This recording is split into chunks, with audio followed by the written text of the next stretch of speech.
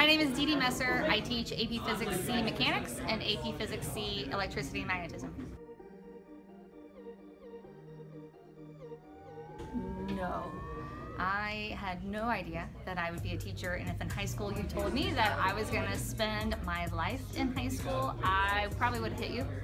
Um, I had no intention. I was going to be a chemical engineer, and I did two internships and realized that was the most boring job I have ever seen in my entire life.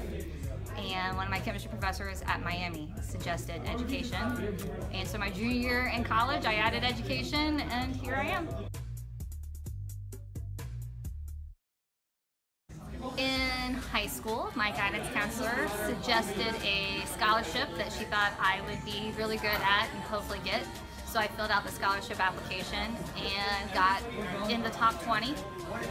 And that's when I realized that it was the Junior Miss pageant for the state of Ohio. So it was like a beauty contest that I am 100% not the person to do that. And she knew that if she had told me what it was, that I wouldn't do it. And so the um, winner of my senior year in high school, I was in a beauty pageant slash scholarship and um, yeah, came in third place.